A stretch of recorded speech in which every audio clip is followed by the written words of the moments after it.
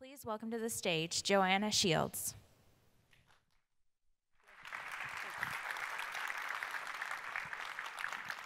Hi, everyone. I'm Joanna. I'm the CEO of Benevolent. I'm really excited to be with you here today. I've got three of my colleagues that came in from London along with me.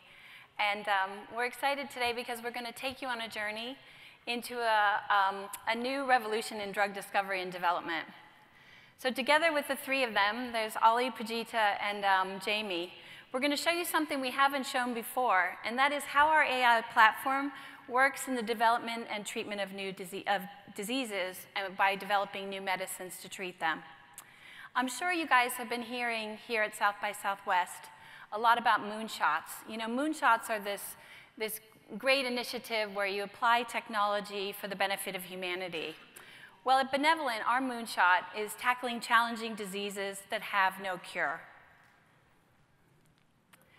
We believe at Benevolent that unconventional thinking combined with purposeful technology can truly make an impact on the world. So this afternoon, we're going to talk to you about how we do just that. By unlocking the power of scientific biomedical data and enabling scientists, engineers, and researchers to come up with new discoveries that human beings would not be able to come up with on their own. But before we begin, I want to get serious for a second. I want to talk to you and put this all into context. How many of you receive requests like this, asking you to help raise funds for a loved one that is suffering from a devastating disease? I'm sure that almost all of you do. Disease doesn't discriminate. It impacts us all.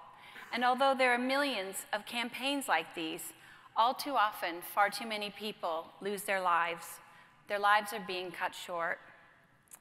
For those who have lived through the agonizing experience of someone that they love being diagnosed with a devastating disease, you know, you suddenly become this amateur cl clinician. The impact of it really hits home. You start studying everything you can find about that disease. You look at um, clinical trials, surgical methods, treatment protocols, pain management.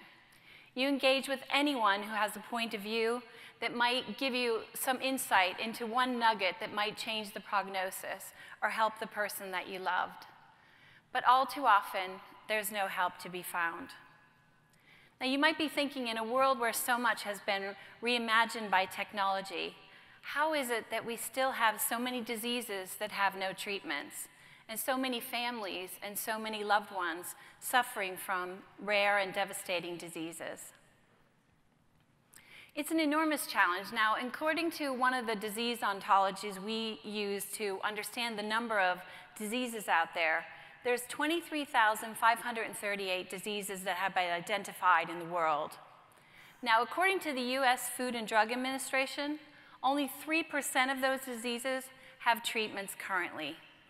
Now, I think that you must, you must gasp when you hear such a statistic because it's absolutely astonishing that for all those diseases, only 3% have a treatment. So there's that many families that have no hope. Now, in spite of the tens of billions that's being spent today on research and development, there are still thousands of diseases without any treatment at all. And there's over 300 million people living er, every day with rare diseases that unless we disrupt the economic model of the way diseases or drugs are developed, and unless we develop new treatments using technology, there won't be a treatment developed for those 300 million people anytime soon. But let's talk about the, you know, the size and the scale of this problem. You know, it costs $2.5 billion to come up with a new drug today, and it takes 10 to 15 years. Furthermore, the top 10 selling drugs in the market, the ones that you hear about on television every day when you're watching TV, those drugs work for 30 to 50% of the patients they're prescribed for. Imagine any other industry where, you know, if 70% of the people that were using a product had that product fail. I mean, it's just incredible that we're failing patients on such a massive level.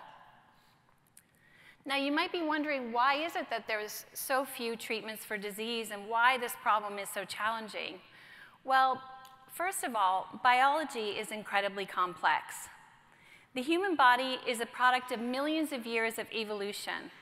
We, our own bodies are, you know, you know, decades and you know, thousands and millennia of years um, in terms of mutations and permutations that make each and every one of us a unique individual.